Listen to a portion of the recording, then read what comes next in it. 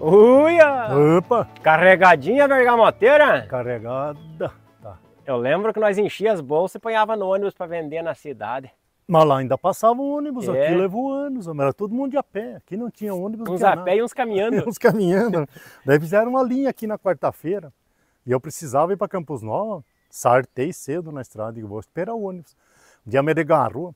Quando eu cheguei no ponto de ônibus ali, uns 10, 12 embaixo das árvores, lá escapando da chuva. Eu cheguei e disse, o ônibus não passou ainda?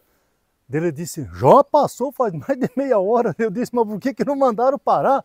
Eu acho que não tinha mais lugar, porque ele vinha vindo de longe dizendo que não.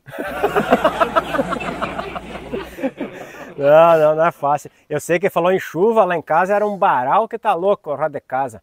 E eu pensei, eu vou arrumar uma caçambada de brita e vou espalhar por lá para pelo menos daí ajeita, né? Termina com o barro. Ah, Daí eu fui lá falar na prefeitura de precisava de uma caçambada de brita. Eles disseram, você tem que esperar a vez, que tem tudo essa encomenda na frente. E um monte de gente na vez. E cada vez que eles desciam para o interior, traziam uma carguinha de brita.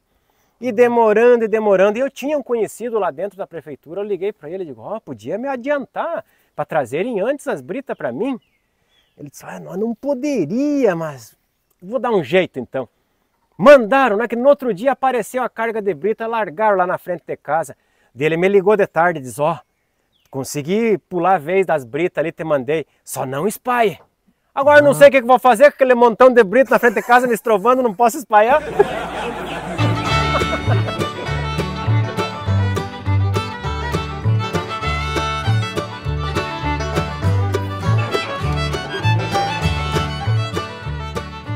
e sobrinho.